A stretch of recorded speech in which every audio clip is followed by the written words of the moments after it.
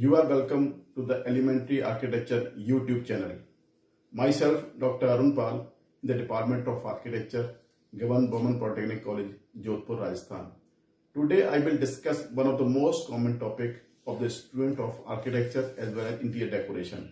The name of the topic is type of estimate or various type of estimate.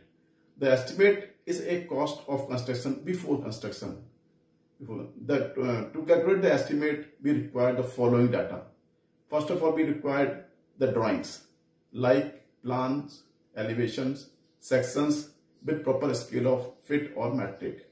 Second data which we have required that is a specification of both types, general and detailed specification like various materials, earthwork in excavation in foundation, earthwork in filling, PCC, RCC, DPC work, plaster work, woodwork, plumbing work and electrical work, etc. etc.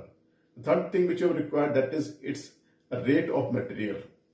Basically you require different kind of material rate and rate of various kind of work.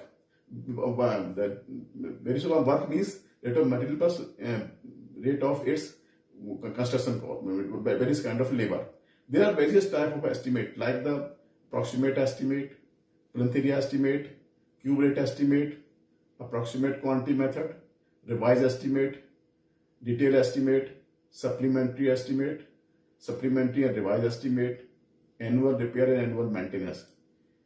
In plinth area estimate, we calculate the required area and multiplied it by the plinth area estimate and add the contingency of 3 to 5% of estimated cost and we add the work charge establishment 1.5 to 2% of estimated cost and to supplant if required.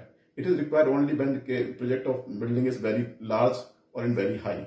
If it is required, it should be add 1 to 1.5% of estimated cost and add all these kind of various data, we will find, find the estimate of a particular building.